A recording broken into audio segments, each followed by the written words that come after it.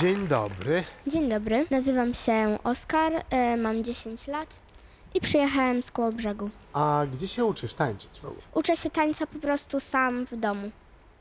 Hmm, a dlaczego nie poszedłeś do żadnej szkoły?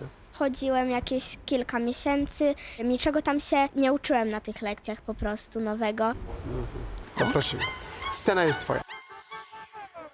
아직 타임이 아니야 난좀더 가까이 좀 더 가까이 그러다 갑자기 싹 I'ma steal it 맘을 훔쳐 You are gonna love me 결정적일 때이 발을 드러내는 타입 나와 두 눈이 마주쳐도 난 흔들림이 없어 no 널 사랑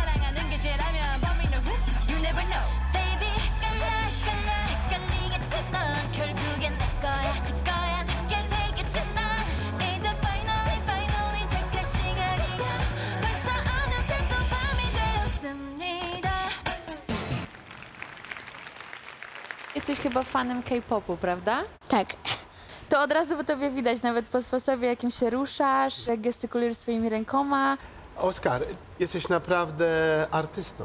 Człowiekiem bardzo wrażliwym. Świetnie słyszysz muzykę, wiesz jak chcesz wyglądać. Co o, mnie troszkę tutaj frapuje, to czy ty będziesz się zmieniał, bo You Can Dance właśnie potrzebuje takich tancerzy, którzy się non-stop zmieniają. Jak ty myślisz? Myślę, że sobie mogę poradzić z tym wyzwaniem. Okej. Słuchaj, zrobimy inaczej. Sprawdzimy to. I e, weźmiemy cię na dogrywkę.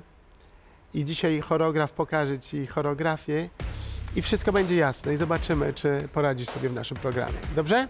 Dobrze. Okej, czyli zapraszam cię na dogrywkę.